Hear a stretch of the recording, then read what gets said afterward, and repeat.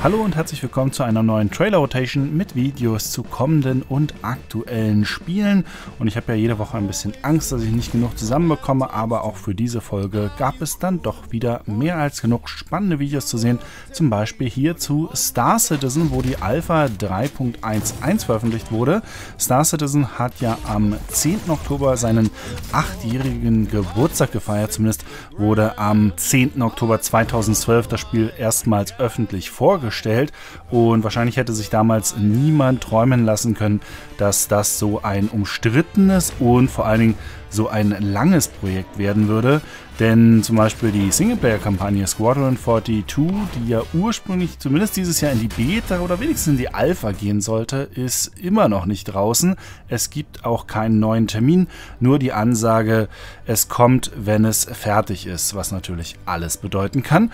Aber schöne Trailer können sie immer noch. In diesem Video sehen wir hier zum Beispiel eine Raumstation und auch eine der ersten Locations, die man im Rahmen der Story-Kampagne betreten wird.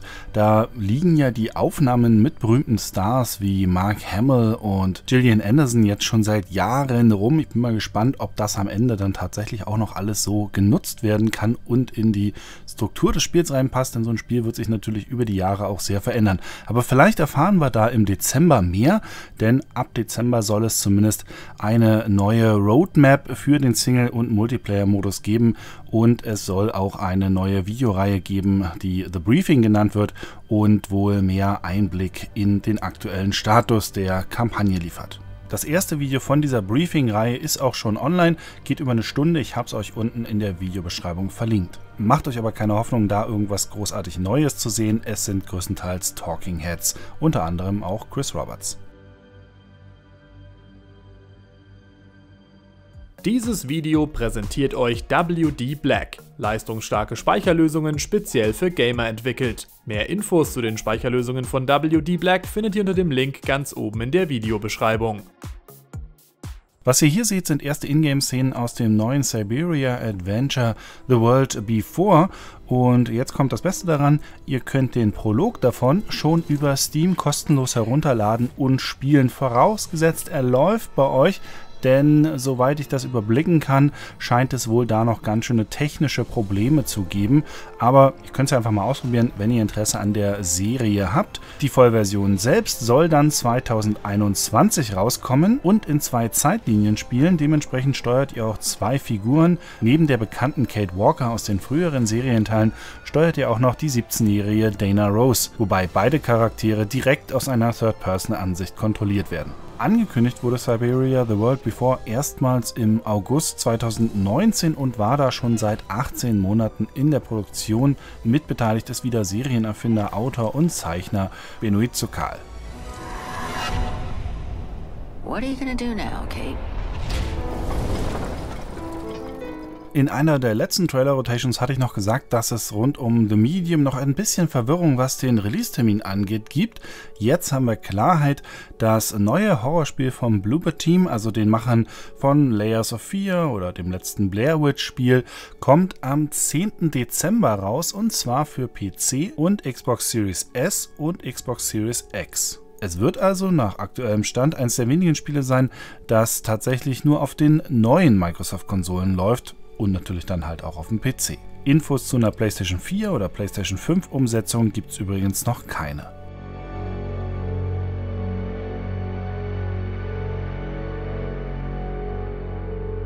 Das Spiel, das ihr jetzt seht, heißt The Red Lantern und es kommt am 22. Oktober für PC und Switch raus. Let's go assemble us a team, huh, Chomper? We need four more pups to start training. Okay, I know I barely have enough food for all of us, but that's part of the adventure, right? We're gonna find our food. We're gonna live off the land. Who knows what's out there? Well, besides bears. And wolves. And weasels. And caribou. And lots of creatures, honestly. And soon us, but it'll be amazing. We're gonna follow our hearts and our stomachs to find our way home. We're out here to become a real dog musher and you know, hopefully one day win a race or two. So let's go. Let's get out there and live wildly. Live the life that feels true to us. Heute werden wir siegen! Großer neuer Champion kämpft mit uns. Die Info, dass Outriders, der neue Koop-Shooter von People Can Fly, auf den 2. Februar 2021 verschoben wurde, hatte euch Michi ja schon in den News unter der Woche mitgeteilt. Es gab aber auch noch einen neuen Trailer zu dem Spiel. Die Anomalie hätte uns töten sollen. Aber stattdessen hat sie uns zu Nähe gemacht, verändert.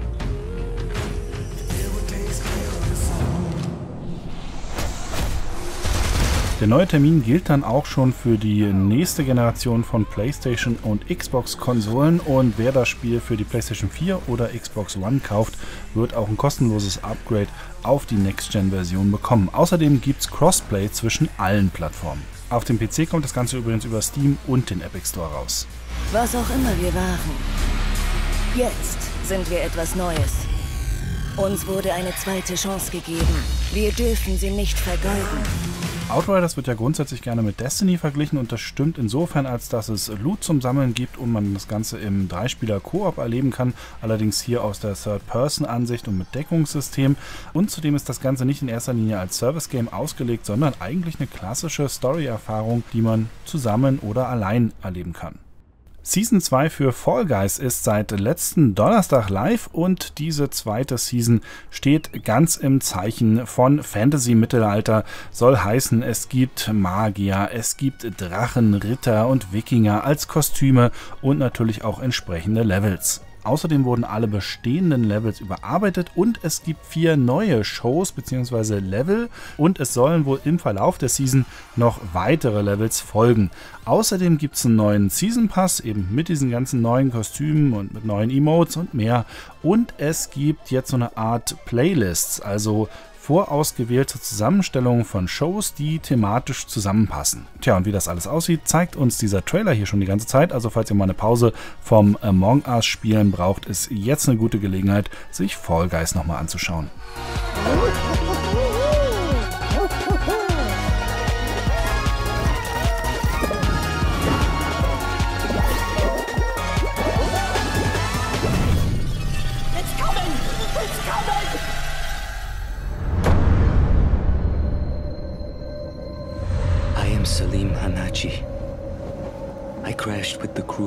Crew Cassandra on March 3rd, 1937. But what was it? What did you see? I and others were injured.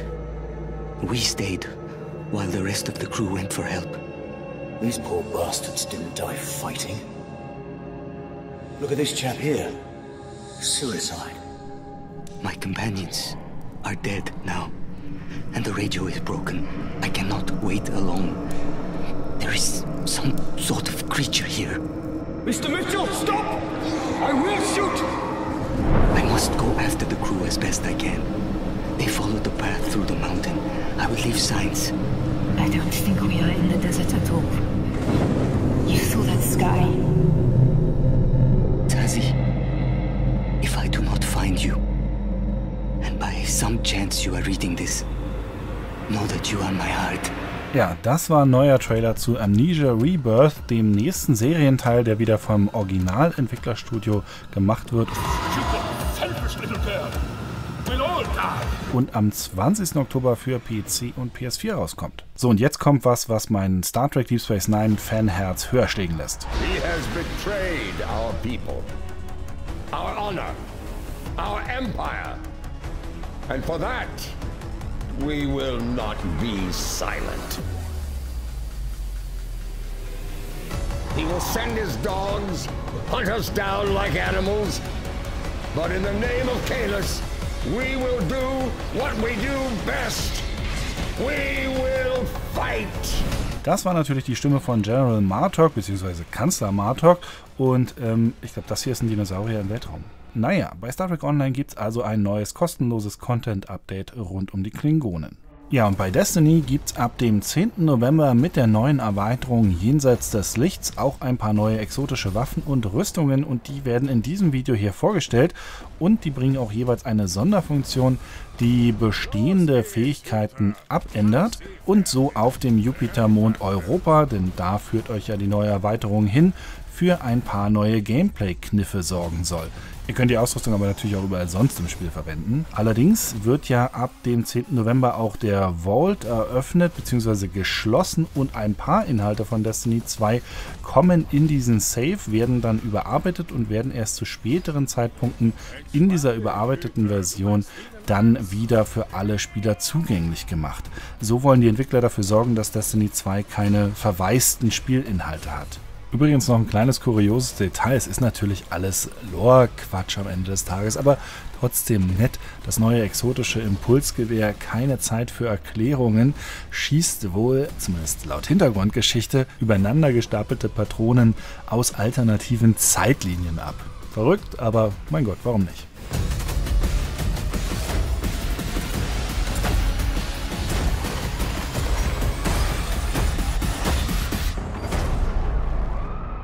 Die zweite von drei Story-Missionen aus dem Season Pass von Desperados 3 ist verfügbar. Let's slip in discreetly, shall we? Big fields, lots of cover. Come on, the money's waiting. That's a lot of cotton. Lovely place for some hide and seek. Whoops a daisy. Can you imagine living in a place like that? I don't know. Too big and fancy for my taste. Die neue Story Map 5 Steps Ahead gibt es entweder für 5 Euro einzeln zu kaufen oder als Teil des Season Passes für 13 Euro, wo dann insgesamt drei Missionen drin sind. Und damit sind wir nochmal bei Aquanox Deep Descent, das ja jetzt am 16. Oktober, also am nächsten Freitag rauskommt, zumindest für den PC. Und letzte Woche hatte ich ja schon einen Trailer mit ein paar Story-Elementen drin und dem Vierspieler-Koop-Modus für die Kampagne. Diesmal geht es um die Waffen in dem Unterwasser-Action-Spiel. Und während wir hier passend dazu das Gameplay sehen, ein paar weitere Infos zum Test. Der wird wahrscheinlich am nächsten Donnerstag live gehen. Das Testvideo dann wahrscheinlich erst am Freitag. Und während ich noch nichts über die Testversion selber sagen kann, kann ich zumindest aus der Vorschauversion sagen, dass es in Sachen Atmosphäre und Unterwassergefühl eigentlich schon ganz cool war. Das Einzige, was ich so ein bisschen als Kritikpunkt sehe in dem Spiel, sind die Dogfights. Denn die laufen darauf hinaus, dass man sich im Grunde genommen die ganze Zeit nur Cockpit gegenüber Cockpit mit dem Feind anstarrt und das Waffenarsenal aufeinander losballert es entstehen einfach keine richtigen Dogfights, zumindest soweit wie ich die Vorschauversion spielen konnte. Mal schauen, wie das jetzt mit der Testversion ist, vielleicht bessert sich das dann noch. In Sachen Story und Worldbuilding fand ich es aber schon ziemlich nah an dem dran, was man von Schleichfahrt und Aquanox gewohnt war. Aber die Sache mit den Dogfights ist halt wirklich ärgerlich und man sieht es hier in dem Gameplay-Material eigentlich auch schon die ganze Zeit. Es ist immer nur ein sich gegenseitig ins Cockpit gucken. Besonders wenn man jetzt vielleicht gerade Star Wars Squadrons gespielt hat, ist das schon ein bisschen enttäuschend und ich weiß natürlich, das Bewegungssystem ist hier ganz anders und es läuft auch langsamer, aber es ist ja ähnlich durchaus zu sowas wie einem Everspace 2 und auch da haben es die Entwickler hinbekommen, für ein bisschen mehr Dynamik zu sorgen. Da ist am Ende der Game Designer gefragt. Weiter geht's gleich mit Watch Dogs Legion. Da hatten wir ja diese Woche ein ausführliches Vorschauvideo. Das bezog sich allerdings eher auf die Spielwelt und größtenteils auf den Singleplayer-Modus. Jetzt gibt's aber auch Infos zum Koop- und Multiplayer-Modus, die Anfang Dezember als kostenloses Update nachgeliefert werden. Und es gibt Infos zu den Inhalten des Season Passes. Hi, I am Latish Slenadin, the live producer on Watch Dogs Legion. I'm excited to reveal our post-launch plans and to give you details about all the free content we are bringing you, as well as our season pass. On December 3rd, we will launch our first free update introducing the online mode of Watch Dogs Legion, where you can explore the full city of London in up to four player co op and recruit anyone you see. We have all new co op missions that you can play with your friends. Bring your own characters, find the best synergies, and build the ultimate co op team. We're also adding dynamic events that will bring new challenges to the streets of London. On top of that, we're launching Tactical Ops, dedicated four-player missions tailored for co-op play that require great efficiency and communication. We also have our very first PvP mode. Spider-Bot Arena is a hectic, high-intensity, free-for-all deathmatch for up to eight players. Control Spiderbots armed to the teeth and show your mastery. More PvP modes will be coming in future updates.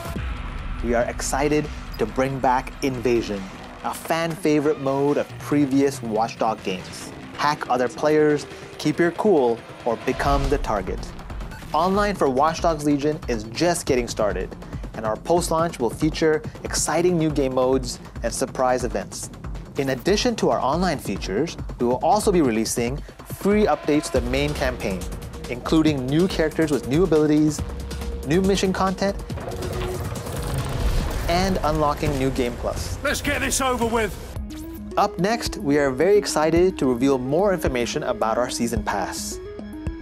Our new story expansion, Watch Dogs Legion Bloodline, continues the story of Aiden Pierce from the original Watch Dogs. But Aiden isn't the only star of his story. We're excited to announce that Wrench from Watch Dogs 2 will be joining him and will be a fully new playable character. Watch Dogs Legion Bloodline introduces a new storyline, new progression, and unique gameplay abilities. All Season Pass owners will unlock four playable characters, including Aiden and Wrench. Let me introduce you to Mina, a subject of transhuman experiments who possesses the ability to mind control individuals. And for one last big surprise, for the first time in Watch Dogs, we have a crossover with Assassin's Creed. Meet Darcy, a member of the Assassin's Brotherhood. Where do you want me to start? From the beginning. So, und weil am 13. Oktober mit Remothered Broken Porcelain der zweite Teil der Horrorserie rauskommt, gibt's hier nochmal eine Story-Zusammenfassung, was im ersten Teil passiert ist. One late afternoon, a mysterious woman, who introduces herself as Dr. Reed Rosemary, visits the villa of the old notary, Richard Felton, whom suffers from a strange disease. He is assisted by his personal nurse, Gloria Ashman. After a brief and fruitless conversation, Reed is exposed as an impostor. She has come to the villa to find out what really happened to Felton's missing adopted daughter, Celeste. After being thrown out and refusing to give up, Reed hides until nightfall and sneaks back into the villa to search for clues. As Reed explores the villa, she soon finds herself in the center of her worst nightmare. Richard Felton has killed his wife, Ariana Gallo, and has lost his sanity. Upon learning that Reed has infiltrated the villa, Felton and a mysterious red nun begin hunting Reed. Reed eventually reaches the attic, where a mysterious girl who claims to be called Jennifer is found looming in the shadows. Reed eventually discovers that Richard Felton and the Jennifer in the attic are actually the same person. Richard Felton was born as a woman, but was then forced by her cruel father to live as a man. Phenoxyl, a drug created by Felton, the Ashmans, and Professor Wyman on the Rosagallo farms, was created from a rare breed of parasitic moths to repress and erase traumatic memories. It is revealed that the drug was tested on Felton and the nuns of the nearby convent. The drug caused terrible side effects hallucinations, severe light sensitivity, and homicidal rage. As Reed was escaping Jennifer, Gloria returns to the villa and offers to help Reed. Gloria drugs Reed, and upon wakening, she finds Gloria forcing Felton to cut out his own tongue and burn himself to death. Gloria reveals that she is the Red Nun, the sole survivor of the fire at the convent, which was started to cover up the phenoxyl experiments. Gloria had been hypnotizing Felton for revenge. After a frantic confrontation, Reed manages to escape Gloria's murderous rage. Just before Gloria passes, she reveals that Celeste is still alive and that she had fled the Felton villa years ago. Reed must continue her search for unanswered questions. If Gloria was the daughter of Felton's associates, the Ashmans, why was she used as a guinea pig for experiments in the convent? Who were the Feltons protecting their daughter from? What happened to Celeste Felton?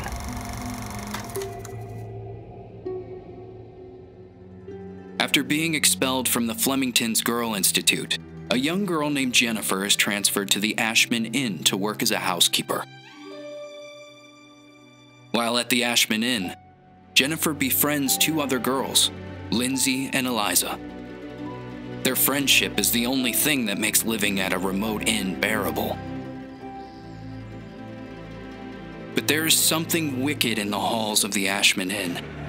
Jennifer soon feels a malicious presence and encounters a terrifying being called Porcelain and a mysterious red nun. But those are not the only threats that loom in the Ashman Inn.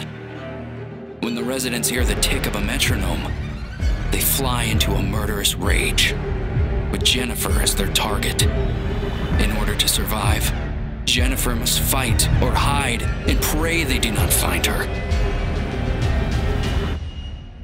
Meanwhile, Reed travels to the Ashman Inn to meet the proprietor, Stefano Ashman. Reed is continuing her investigation to find Celeste Felton and believes the inn could be the lead she needs. Jennifer and Rosemary are out to find their truths. But what dangers lie ahead of them? Das war's mit der Trailer Rotation für diese Woche. Ich hoffe, es waren wieder ein paar interessante Clips für euch dabei. Und wenn es euch gefallen hat, dann schaltet beim nächsten Mal wieder ein. Bis dann, euer Fritz.